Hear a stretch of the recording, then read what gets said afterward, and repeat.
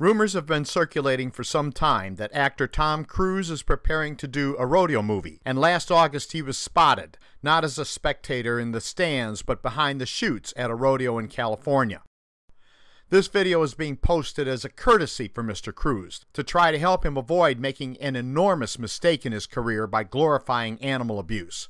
Shark has written to both Mr. Cruise and his Church of Scientology, but neither has responded. Tom, there are some things you should consider. The rodeo industry is a cruel, corrupt, and cowardly enterprise. The cruelty is right there for all to see, or at least for all who have any sense of ethics, compassion, or real sportsmanship.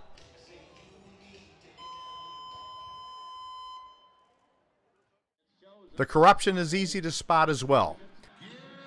The regular shocking of animals to make them buck is just one example, and you find it at every level of the industry amateur, high school, college, and pro ranks, right up to the National Finals Rodeo held in Las Vegas.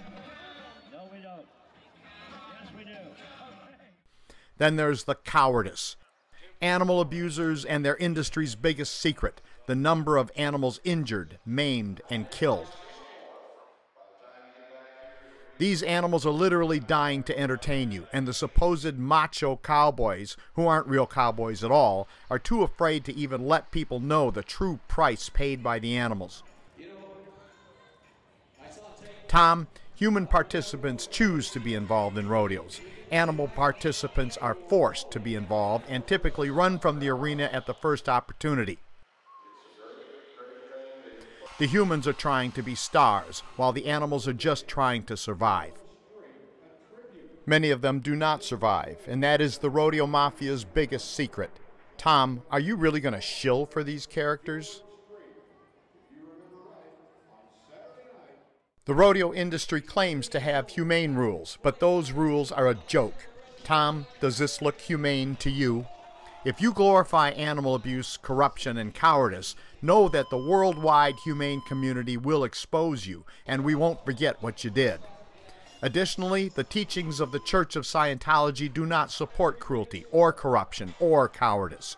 You will do a great disservice to the church if you support rodeo animal abuse. Many of your fans care deeply about animals, and they will never look at you the same way again if you do a movie glorifying rodeo animal abuse. To fans of Tom Cruise, you can learn more about rodeo cruelty by going to rodeocruelty.com.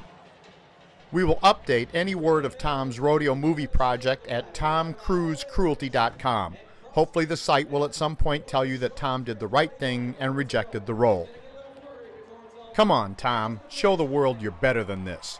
Real men don't brutalize animals, real men know the strength of compassion. This is Steve Hindi for showing animals respect and kindness.